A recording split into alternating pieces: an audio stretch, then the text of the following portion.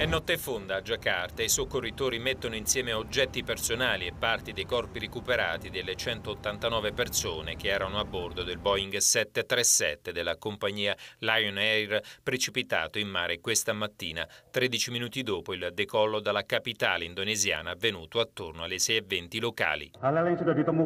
Abbiamo recuperato alcune carte d'identità, passaporti, patenti di guida, tessere di assicurazione mediche e banconote, racconta questo funzionario funzionario governativo. A bordo c'era anche un italiano e Andrea Manfredi, originario di Massa, aveva 26 anni. Da ex ciclista professionista era diventato un imprenditore nel settore. I genitori sono stati avvertiti dai carabinieri, i militari si sono presentati nella casa della coppia accompagnati da un supporto medico e psicologico.